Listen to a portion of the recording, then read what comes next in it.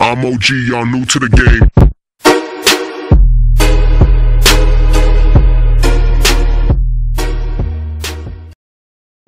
Hola.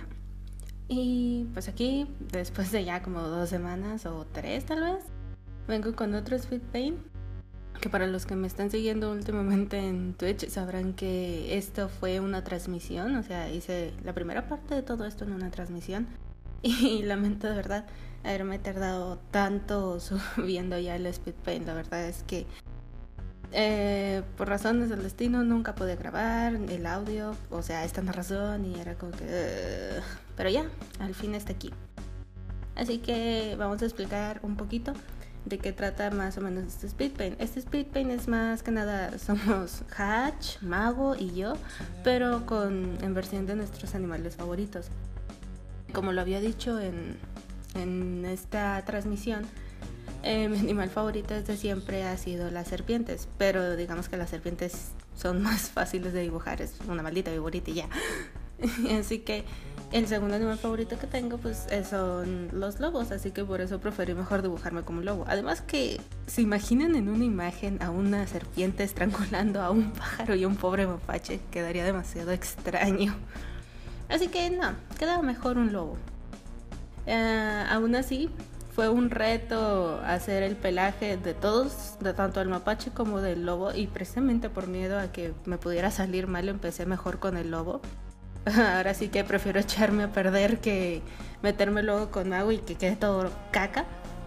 Así que mejor preferí empezar con el lobo. Usé la misma técnica que uso para colorear el cabello en los otros personajes. Usé la técnica de usar un color base más oscuro y luego colores más claros para empezar a darle profundidad y luz. Sin embargo, siento que no me quedó como me hubiera gustado porque en sí estos animales tienen demasiado pelaje. Entonces, ¿se imaginan hacer cada una de las pinceladas para simular el pelaje real? Era como que, mátenme ya, por favor.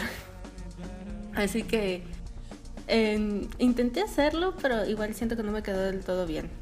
Así que el proceso sigue siendo el mismo, pero no con los resultados que me hubiera gustado. También como muchos se habrán dado cuenta en mi Twitter hace ya tiempo, eh, la última vez que me pinté el cabello me lo pinté azul. Ahorita ya lo tengo más gris que azul por lo deslavado, pero hasta eso me gustó como me queda el color de gris. Pero eso es otro tema aparte.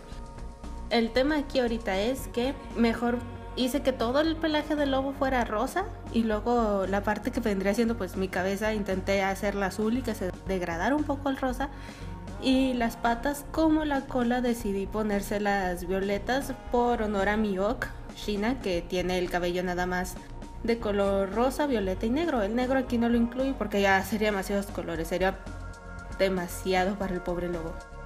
Ahora con Mago, ya después de que eché a perder mi lobo, con Mago empecé a seguir lo mismo, pero fue igual de difícil porque como es un animal más pequeño, tuve que hacer las pinceladas más pequeñas para que se viera un poco más real el pelaje y aún así siento que no me quedó del todo bien, pero con las sombras generales y los brillos creo que se salvó un poco. También encontrar dos tonos de verde que quedaran bien fue muy difícil porque si de por sí el verde es un color que no es mi favorito, de hecho lo odio, encontrar dos colores de verde que a mí me gustaran y que dijera, ok, el mapache se ve bien con estos colores fue un martirio. Pero bueno, al igual que con mi lobo decidí con el mapache pintar el color castaño, porque Mago ahora lo trae castaño.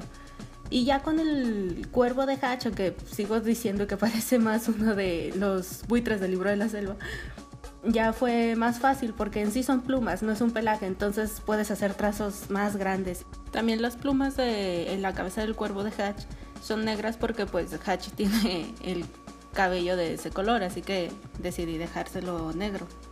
Ya después hacer el fondo fue algo muy sencillo, creo que el fondo lo hice en el directo, por eso no sé de todo el proceso, pero fue definitivamente más sencillo que hacer el pelaje.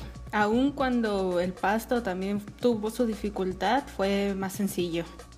Y pues ya para finalizar, este es el resultado. Muchas gracias por ver el video, se les quiere como siempre y nos vemos el próximo video.